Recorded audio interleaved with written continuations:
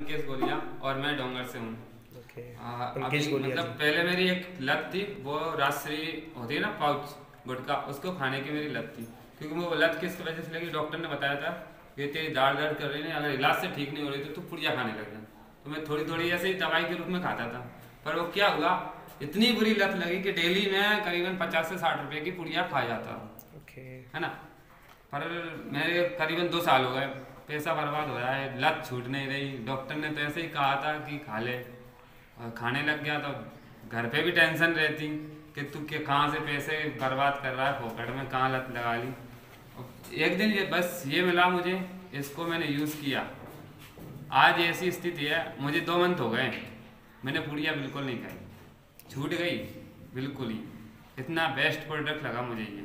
और आपके दांत भी चमक रहे हैं सर दिख दांत तो बिल्कुल साफ़ ही है ये देखो। तो ताली आ जाएगा सभी को मेरा धन्यवाद। इसका प्रोडक्ट का नाम भी बता दो सर इसका अच्छा नाम है टीथ क्योर इसका यूज़ कैसे करते हैं इसको एक या दो बूंद अपने टूथ पे ब्रश पे रखो और मंजन करो मंजन के तौर पे।